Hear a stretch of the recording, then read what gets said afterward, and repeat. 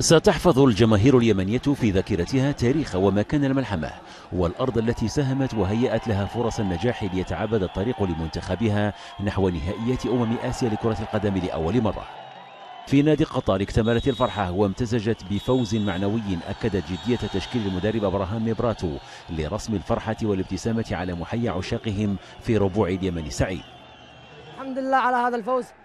هذا الفوز يستاهلها الجمهور اللي حضر والإدارة اللي تعبت واللاعبين اللي لهم سنتين على هذا التصفيات.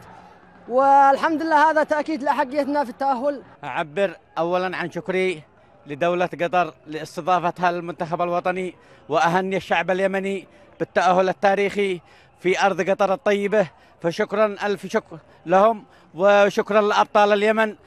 لم تنسي الاحتفالات اليمنيين رد الجميل للجماهير المساندة بأداء مميز وفوز مستحق. سجل أول أهداف اليمن عبد الواسع المطري لاعب العروبة العماني في الدقيقة الرابعة والعشرين.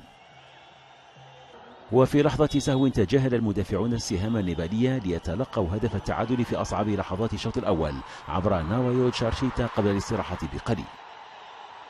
الإصرار والعزيمة كان حاضرين طيلة أطوار اللقاء.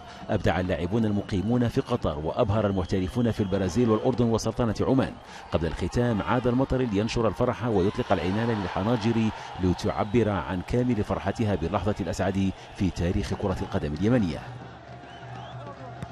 حقيقة التأهل هو تأهل لأسعد أكثر من 27 مليون يمني. تأهل جاء من الأراضي القطرية. نتوجه بالشكر الجزيل إلى الاتحاد القطري لكرة القدم على كل ما قدمه المنتخب من تسهيلات ربما لم نجدها في أي مكان آخر. الرياضة عملت ما عجزت عنه السياسة بينما السياسة فرقت الشعب اليمني، المنتخب اليمني وحد كل اليمنيين والتف الشعب اليمني كله نحو المنتخب الوطني بهذا التأهل الذي يعد الثاني من خلال تاريخ اليمن بشكل عام ولكنه الأول منذ تحقيق الوحدة اليمنية.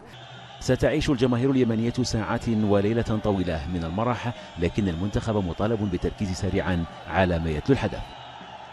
صفحة جديدة في تاريخ كرة القدم اليمنية والدوحة كانت ببصمة واضحة على الرياضة في اليمن السعيد.